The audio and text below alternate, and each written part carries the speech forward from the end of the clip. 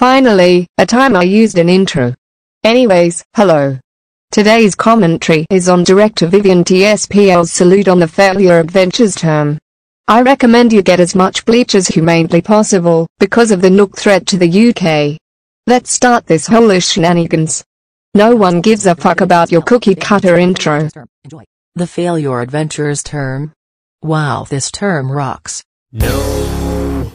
This term is being used in almost every Vyond style rant. Thank God I don't use the term in my Vyond style rants.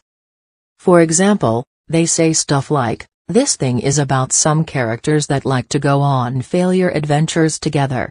It makes me so horny. Oh! Ew! Dude! What the fuck? I hope this term gets used in every year by the year 2023. Shut the fuck up! Know your fucking place, trash! So the Failure Adventures term rocks. Liar, liar, plants for hire. And so does the stupid pooping pirate term. Liar, liar, plants for hire. And if you say it's getting old, overused, and overrated, I will. No. Anyways, the term is getting old, overused, and overrated. Yes.